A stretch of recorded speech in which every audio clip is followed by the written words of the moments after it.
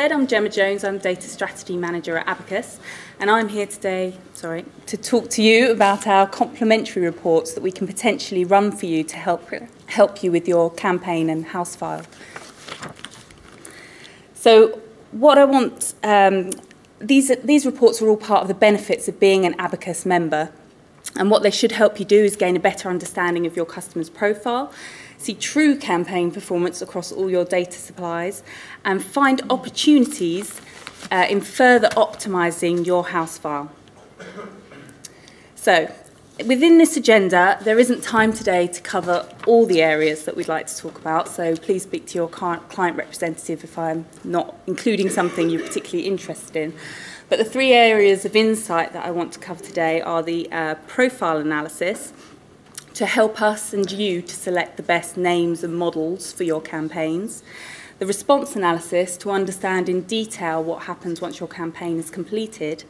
And house file overview to gain a greater insight into how your house file relates to the Abacus Alliance and therefore how we can help you to find further opportunities in that area.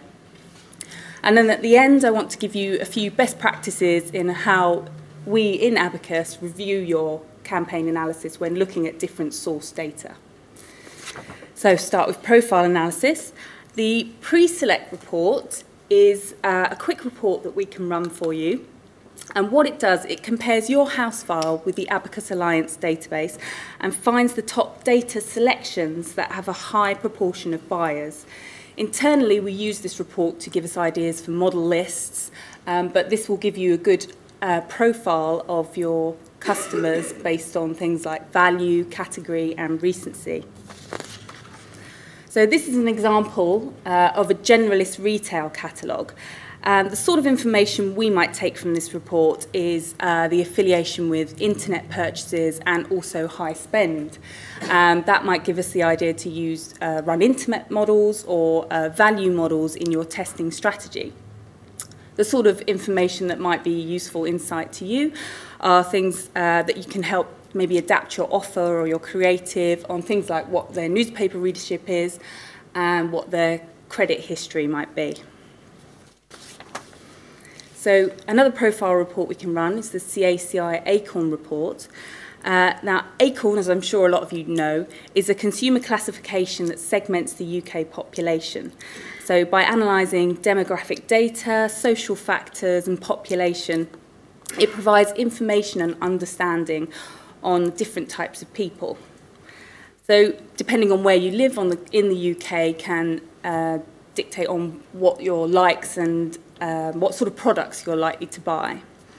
We use this for model selections or exclusion lists, and we find it particularly useful for gardening catalogues because it will give us a, can, we can target rural areas where people have large gardens and spend a lot of time and money on their gardens.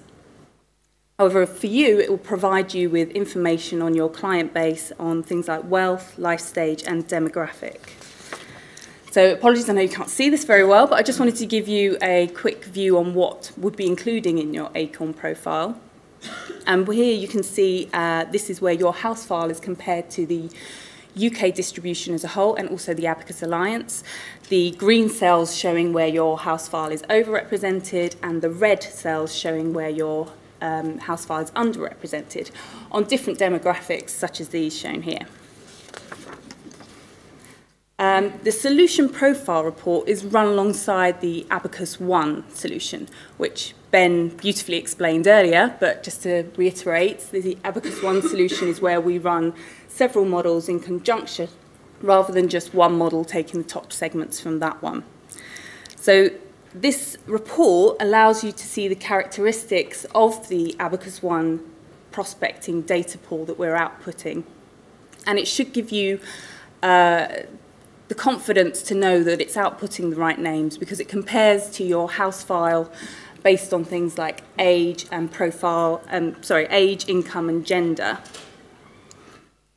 Um, and in this snapshot of a solution profile report, you can see the comparison between your house file and the Abacus One model data. Uh, and what we're showing here is the yellow graph is your household distribution and the modelled Abacus One data is shown in purple. And in this example, this is looking at household age. And what we want you to see is that you're getting like-for-like -like data, so it should give you confidence in that the solution is working for you and that your prospecting universe is going to be like your house file universe is currently. So there are, um, these are some of the analysis that we can run after your campaign has completed. Now, obviously, most of you will run some sort of analysis in-house or through your agency, but I just want to show uh, what we do in-house, whether we can help with any further insight that you're currently missing. Campaign analysis, quite simply, is where we use your mailing file to see the performance of each list. Uh, matching on responders using name and address we find more accurate than matching on simply source code, which is obviously dependent on your customers providing that information accurately. If you can supply us with a mailing file, we can look at uh, crossovers between your list providers and see which lists are performing very well and which lists are perhaps underperforming so that we can um, reduce the number of duplicate names that you're getting per campaign and hopefully reduce your costs. We also run a first order graph as, as standard with our response analysis. And what this will show is the active length of that campaign. And that can help you for future campaigns in deciding what your best drop dates are and at what point you sort of cut off and start another campaign. Lifetime value analysis. This is something we run uh, 6 to 12 months after your campaign has completed. And this is so that you can understand the true value of that campaign. So we will uh, look at the people who responded within that finite period, but then what did they go on to do after that? And we can do that for your inquirers as well, people who inquired because you sent them a prospecting campaign, but then they went on to buy further down the line. Um, this information can help you plan your future marketing budget more accurately, and we find this information really useful for uh, finding that group of high lifetime value buyers and using them to try and replicate that in your prospecting mailings to find people who look like that. Uh, solution optimized report.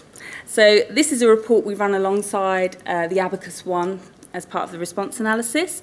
It shows each individual model's uh, response rates, pound per books, and match rates to the overall solution. And the reason we run this is so that we can see how each model would have performed and whether it's making a valuable contribution to your Abacus 1. It also allows us to include tests uh, always, and it's sort of opening the black box of what an Abacus 1 is to give you insight into what's actually going on there.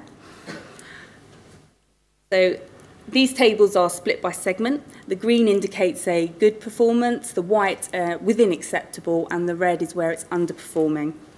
So with this example, we would probably take this decision to remove this CHADE model, which is pretty much underperforming, and replace it with one of the test models that wasn't previously included in the overall solution names, but we're able to run it alongside your, your live Abacus one, so that we're always testing, always making sure that your A1 includes the best models. So we'd probably switch those models round for your next campaign. Our house file overview can show you how we can add value to different parts of your house file. So if um, with the STAR report, if you feel there's areas of your house file that you could be doing more with, we can show you the level of activity we have on the Alliance for those inactive or inquiry uh, pockets of data. You may not see much opportunity in very old lapsed house file data, but before you spend a lot of money on, re or a little money on reactivation, uh, we can show you the STAR report to show you where that money is best spent. Uh, in this STAR report example, uh, this is a client's 13 plus month inactive buyers. Now, inactive means different things for different people. However, what you can see here is how very active they are still on the Alliance, particularly within the last month. Promoted reports. This is something we do quite early on in the Abacus Alliance membership relationship, and this should help to alleviate your or the powers that be fears on uh, sharing your precious house file. Um, what it can show you is, uh, well, what you might be surprised to learn is that your unique buyers, so those that we don't currently have, our match rates are around 97, 98%, but anyway, so your unique buyers are not actually your best buyers. in this mature clothing example, you can see that the vast majority of, of their buyers have made purchases with more than 20 of our other Abacus Alliance members. And in fact, the average order value that they spend with that mature clothing is highest for that group of people. So typically, the more active your buyer is elsewhere with other uh, retailers, the more likely they are to spend more money with you. Um, and by running this report, you can also see how much information we have on your buyers, which may spark interest in our tagging products or further house file investigations. So as I said before, a lot of you will be doing your own analysis in-house, so I just want to share with you some of our best practices if you are comparing us with other sources and how we do that for you. Uh, so in order for all different data sources to have a level playing field, I would say that all data all data suppliers should be excluding the same data selections from your mailing files. So your most recent house file, your affiliated multiple brands, uh, these all need to be concatenated into a one file so that there's not one list source excluding a massive amount of data when there's only uh, another list source is excluding a small amount of data and is able to supply that other exclusion data. This is just so that the results are, are not murky and you get a clear read on what they are. Um, this is probably stating the obvious, but data sources should drop on the same day, have the same creative and the same offer. You really should be only testing one different factor at any one time to get a clear read on results. Um, to get a clear read and a statistically valid read, we recommend you have at least 100 responders for any test cell that you are testing. And if you, your prospecting uh, campaigns usually get about a 1% response rate, that means uh, mailing 10,000 names for a test cell. Um, and results should be compared on same available volumes. Now, uh, this is something I quite like to emphasise because it's quite key for Abacus in particular. Um, in the first table here, you can see that it looks like list B is supplying the best names. However, if you take into consideration that list A supplied a random sample from a 50k segment size, you can't compare like-for-like -like results and you need to investigate that analysis a bit further. So please, if you are um, testing us against other data sources, please let us know what sort of volumes you're testing us against and we can supply those test cells accordingly so that you can see like for like results. And finally, uh, duplicate names from previous mailings um, so the multis, should be matched back in to get your the true read of your individual list suppliers' results. Now, this isn't the same as campaign analysis because obviously you'll be double counting your orders um, here, but uh, for, to get a true read on individual results so you know who you should be including in the next campaign and you shouldn't, please match back in those multi names. And that's it. Thank you very much.